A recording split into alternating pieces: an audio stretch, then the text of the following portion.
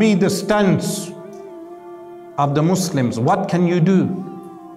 Do not underestimate the power of dua. But remember, when Sa'ad bin Abi Waqas radiallahu an, when he would fire arrows, what did the Prophet sallallahu wasallam say to him? Irmi ya Sa'ad, Abi wa ummi fidak. Irmi ya Sa'ad, Abi wa ummi fidak. At least say something similar. At least have such type of statements. Meaning at least be supportive of the Muslims. Because that alone is sufficient. Be supportive of the Muslims.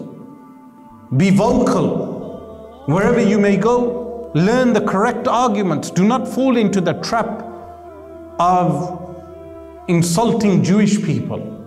It's absurd because I've met Jewish people who are against the state of Israel. Learn how to distinguish between those who are actual enemies of Islam. They sometimes claim to be Muslims or Christians. They go across the board, Zionists. People who support the current occupation. So the, the very least you can do is at least be vocal that you support the resistance. Which resistance? the resistance of the Palestinian people that transcends any group that may be proscribed as a terrorist group. This is not about one group. That people sometimes they want to mention a specific group. This is beyond a group.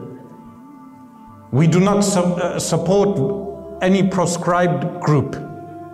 We support a resistance, en masse resistance. That resistance transcends all the groups. It goes beyond Palestinians. It enters what? Al-Ummatul Islamiyah.